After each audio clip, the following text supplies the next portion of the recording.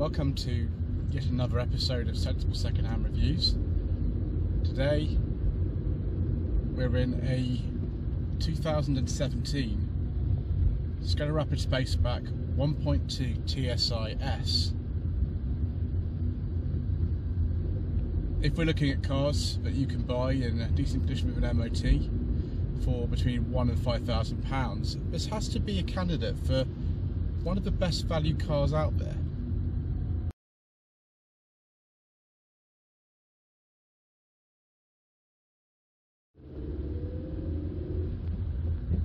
This car actually belongs to my uncle, and uh, I'm here driving through the streets of, uh, Sheffield,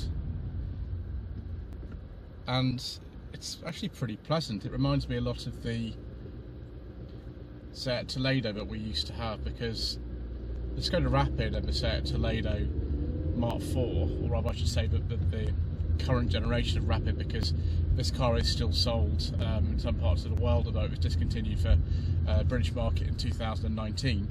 Um, Skoda Rapid Spaceback was uh, made on the same production line as the Toledo and the normal uh, Skoda Rapid. There actually were two versions of this car. One, uh, which is a very kind of large fastback design, which looks a lot like a saloon, but it isn't. It is a hatchback, and the fast, uh, the, non-fastback, the sort of just normal-looking hatchback, I think most people will call it, which is called a rapid spaceback. Ironically, the rapid spaceback has over 100 litres best boot space than the normal rapid. It's about 415 litres as opposed to 550. But the boot on a rapid or a, um, a Toledo is absolutely enormous. It's by far the biggest boot in sort of the small family class. The exterior dimensions of this car are smaller than, say, a, a Ford Focus Mark III, and yet there's more interior space, which is pretty remarkable actually. The engine lineup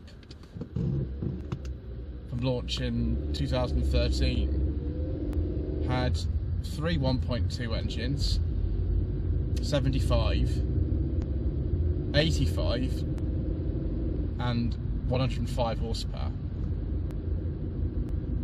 In 2015, the 85 brake horsepower version was upgraded to 90 horsepower. This is a 90 horsepower version. And then in 2017, just after this car was uh, was made, there was a, a mild facelift for the Rapid and Spaceback. I, I, I can't honestly tell the difference between pre and post facelift cars most of the time. It it was more likely really that you get a you know LED headlamps and things like that on the, facelift ones. They weren't made for very long. They were made about 18 months actually, um, and the 1.2 engines were dropped entirely, all of them, to be replaced by two one litre engines. The 110 horsepower version of that one litre engine, which only has three cylinders, was also used in the uh, UK market Toledo but there was also an additional um, less powerful version used in Rapid and Rapid Spaceback, which had 95 horsepower. You could get that one with automatic transmission. A weird anomaly, and the, the fastest um, Rapid Spaceback ever was actually the um, 1.4 that was sold until about 2017, 122 horsepower. That was only available with an automatic gearbox. If you want to kind of a very kind of sporty rapid or rapid spaceback. Your best bet's probably though the um, 110 horsepower 1 litre TSI. But that's because it's got a six-speed manual gearbox. This 90 brake horsepower 1.2, it only has a five-speed gearbox. But then again, that's maybe all you need. And it might seem a bit austere, and you know we'll have a look the interior a little bit more later on, but this car is really growing on me in the same way that my old Seat Toledo did. Uh, we had one of those uh, 2017 model from 2017 because I bought it brand new until uh, July 2020. So I do know these cars quite well. There's also something else I know, and uh, it's the fact that there were also some diesel models, but as usual, we don't talk about diesels on this channel. So here we are, viewers. Uh, just pulled into a rather large car park, um, which uh, allows me to have a look at the Rapid Spaceback in a little bit more detail. So the front end, well, this being the S model, which is absolute bottom of the range, there's really not a lot to see. Uh, there's no fog lights or anything, there's no LED daytime running lights or anything like that. We've just got plastic wheel trims. And that's about it really. To be honest though, uh, a lot of people who bought Rapids and Rapid Spacebacks, that's the kind of thing that they wanted. They didn't want anything fancy. And uh, the portions of the car are just sort of clean. Uh, kind of neat looking really. There's not a lot exciting about this unless you went for one of the upper trim models like an SE Sport. There was, uh, I think, a Monte Carlo version available um, of Rapid as well. Doesn't say Spaceback on the back or anything like that. It just says Rapid. No parking sensors or anything with this model. You needed to go up actually quite a long way to get standard parking sensors on a Rapid. It was really strange. Loads and loads of the things that you expect to be uh, kind of standard on a higher trim version of these were optional. That was one of the things. So boots 415 uh, litres and I believe under here we do have a spare wheel and it's a full size one too. Full size spare wheel. How often do you see one of those in a car from 2017? Boot light as well. Well in this model we don't have the sort of enormous big um, shopping bag hooks that you get in the other ones. You don't get them in this car. It's really strange. You have to go up further up the range to get them. You also it's got a, a sort of reversible boot floor with adjustable height in some of them, but this isn't equipped with the adjustable height boot floor. On the reverse, you'd have a sort of uh, kind of weatherproof surface, sort of rubber rubber lining. One thing that's very nice is that you there's a little sort of thing to pull the boot down because if you're if you're not particularly tall, it's quite difficult to reach that. Although you don't need anything like electric boot opening. Standard thing on a Skoda, of course, many years, which isn't actually here. I think uh, my uncle's put that somewhere else. That's where the uh, ice scraper should go. One of the main things about about these cars, and I'll just uh, move my grand, sorry, my uncle's road atlas out the way, is that the space is back is really good. I've got absolutely loads of, of headroom. I've got even more headroom than in the standard Rapid or Toledo. It's a bit mean they don't give you uh, mat pockets on the back, so the Atlas has to go on the floor. That's that's really annoying. Also, no rear armrest and no electric rear windows. But then, again, you ask yourself if you're buying this sort of car, do you need electric rear windows? Do you need a rear armrest?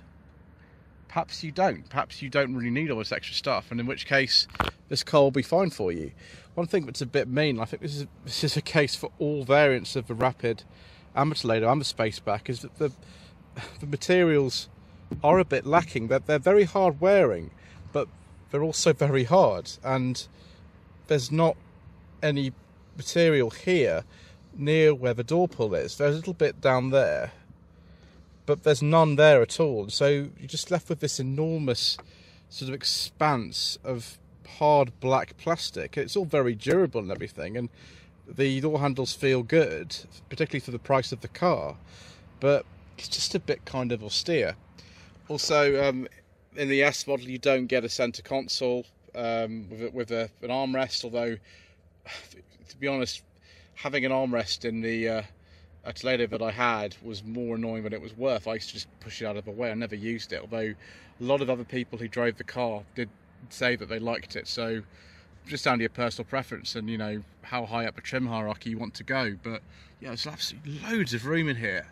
very comfortable, and you can actually when you fold the rear seats, which I won't do on camera because it's difficult to fold them and show with one hand. You can put the belt buckle in this little notch just here. There you go. Look, it's very handy. With the higher trim model, if there was um, if there was a rear armrest here, you'd also get a ski hatch, but of course you don't get that in this one because it's the S model. Oh, so easy to get in and out. The rear headroom is actually better than on the standard Rapid by some considerable margin. That's why it's so easy. My uncle's left the floor mats in for me today from his old Volkswagen Golf Mark 3, which seemed to fit reasonably well. It's actually got a footrest in here as well. Something I really appreciated when I had my Toledo. Again, uh, S model, so no automatic lights or wipers or anything like that. Standard Volkswagen controls that have been in everything for ages, like that mirror control. That's been around for a long time. And even the switches to the windows. Only two, of course, because no electric rear windows, because it's the S model. And here, just standard air conditioning, incredibly easy to operate. It's idiot proof, really. Um, one thing I do like about it though, this car, even though it's a base model, has telescopic steering wheel adjustment and it's really comfortable. There's also um, variable intermittent wiper as well, uh, which is good. I think the glove box will take my secret mission documents. Let's just make sure that it that it does. The old one used to back in the day. No. No, no, no what, what? No! No! Viewers. No way. I can't believe this. I can't believe this. I've been foiled by the passenger airbag switch. Now, Porsche models got things like illuminated door pockets and uh, handles there and a light in the little centre console there, but no, not on this one. Uh, lots of room to shove stuff in there. You don't even get a chrome handbrake button in this. That's really me. I can't believe that. Gearbox feels pretty nice. Um, the car's done about 37,000 miles or so.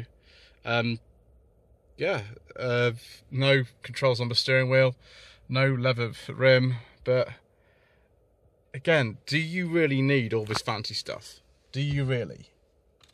I don't think so. Just turn that on. Oh, why's the wiper, rear wiper on? I must have just uh, actually done that. You actually can play songs from um, a uh, uh, memory card. And uh, looks like we've got some Fleetwood Mac going on. No sat nav, of course, on this base model, but it has the colour screen. It's brilliant. It's really good. On the high spec models, this central screen would cycle through things like average fuel economy and stuff like that, but uh, yeah, we don't get that on this because we don't have any control to cycle through, so that's just kind of what it says. Well, if we go into car and setup, we actually might see, yes we do, we've actually got um, long-term, he's getting 49 miles per gallon, that's really good. It's excellent fuel economy. And uh, you can control things in the setup of the screen. It's not particularly advanced or anything, but it's there, and yeah, it's, it's, it's pretty good. I think we have to go to media, we just got to keep that radio off for copyright reasons. Hard plastic on the dash, of course. Um, I don't think there are any soft touch plastics in here. My Toledo used to have a big uh, strip up there uh, in piano black, Seat Toledo up there, and a few more sort of bits and pieces. But again, I don't think you need anything like that, do you? Oh, I'd actually deleted the sunglasses holder as well. It's all a bit mean, isn't it? no chrome handbrake button, and no sunglasses holder. Strange little things to uh, to remove, isn't it? Right, let's have a look at the engine. And here we are. It's the 1.2 TSI engine which develops 90 horsepower. There is the coolant reservoir that's been on Volkswagen things for absolutely donkey's years, I think back to the mid 90s. Likewise, things like the dipstick and oil filler cap. There's, there's not really a lot to it. The biggest engine you get in one of these was actually a 1.6 with the, the uh, Forbidden Fuel engine, which we won't talk about, but it means you've got quite a lot of space to get to what you need to get to. Generally, these engines are quite reliable.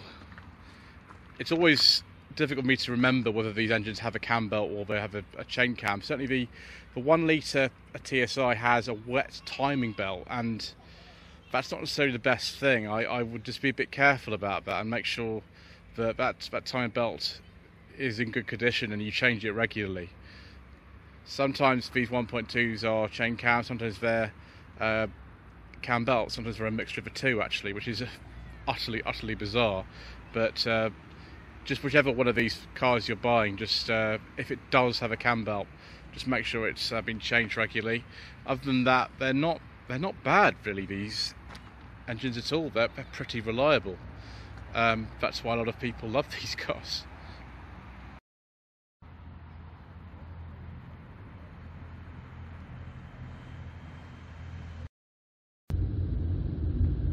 One thing that I'm remembering about the Seat Toledo Mark 4 we used to have was just how comfortable the car was, and this is also really comfortable.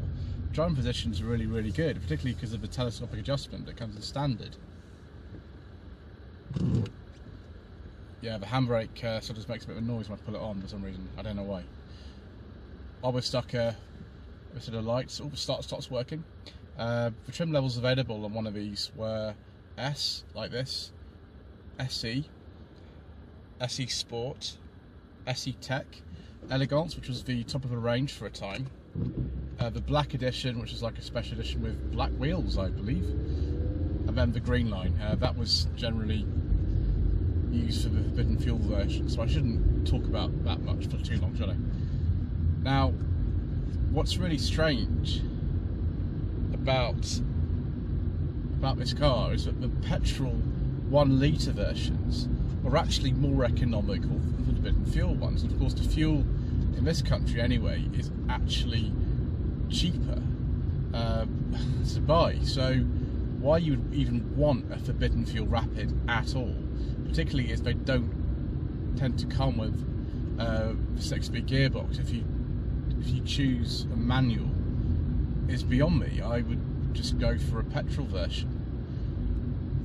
The ride and handling of these is is is actually quite good. The the ride feels very very good. I, I think the car that we had had a bit of a firm ride because it was on something like 17 inch wheels. This is on um, little steel wheels with hubcaps and so the ride's nice and soft. The steering's very light, you don't get an awful lot of feedback mm-hmm. through it, but it's it's very easy to park and you know drive around in town. And so that's another reason to choose one of these cars. They're not of unmanageable size. You do get a lot more boot space than the standard Rapid or the Toledo variant, but if you don't need it, it's a bit more manageable because the those are really long cars and you do need front and rear parking sensors really if you're somebody like me to park with this one. I don't think you do need those. Another advantage of taking Rapid Spaceback over a standard Rapid is that you had this option of a rear tailgate where the glass kind of blended into the metal with a sort of black panel. It's, it's, it's difficult to describe, but if you see a Skoda Scala with that, you'll know what I mean. Or just one of these um, uh, sort of higher out the range, because it was an option on a lot of the trims.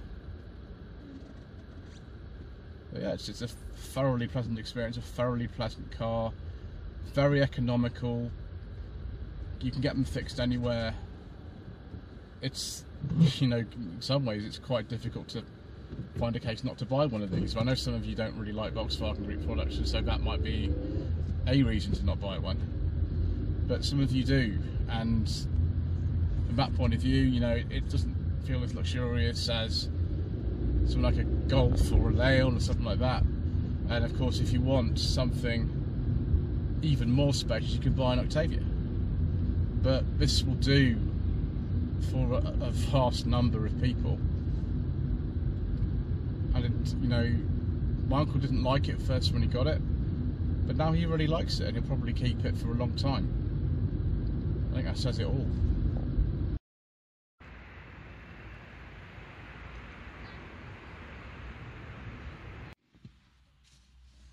So viewers, the Skoda Rapid Spaceback, is this something that you should consider for your hard-earned cash of between one and five thousand pounds? It kind of depends on the sort of person that you are. Um, if every above everything else you value just hard wearing quality, ease of use, and you know really quite low maintenance on something, then this would be a fantastic car. You can get better trim versions of this. You can get the Toledo or the normal Rapid, which have even more boot space and just have that saloon type profile. Um, if you want something that looks a bit different or something a bit more luxurious. But for a lot of people, this will be everything that they ever need. Uh, it, it's really quite comfortable. Um, it's very spacious and it just just the right level of equipment for what you need. Um, it has got Bluetooth. It's got an SD card slot. It's got air conditioning. I mean, what else? What else do you need um, for a lot of modern driving? The car was actually made in quite a few places. Uh, in addition to being made in the Czech Republic, along with the Seat Toledo, it was made in Russia, China, Ukraine, Algeria, and Kazakhstan. And in fact, you can still buy one of these um, brand new even though in most markets this has been replaced with the Scala, which, strangely enough, looks very much like this. They decided to base the replacement for the Rapid and the Toledo on the Spaceback version, of the Rapid. Excuse me. They didn't, they didn't actually go for um, the sort of majority sales variant. They went for the minority one, which is interesting. Just shows direction of things, uh, way it was going and everything. It's weird after three years of being on YouTube, that we've ended up in kind of the same place where we started in September 2018 because the Seat Toledo we used to have was the first review on the channel, and we're kind of back in the same place again. It's funny how these things work. Anyway, thank you ever so much indeed for watching this episode of Sensible Secondhand Reviews. Please don't forget to subscribe to the channel don't forget to like this video, leave a comment below, switch on notifications, that really does help, and social media links are down below. Thank you ever so much indeed once again for watching.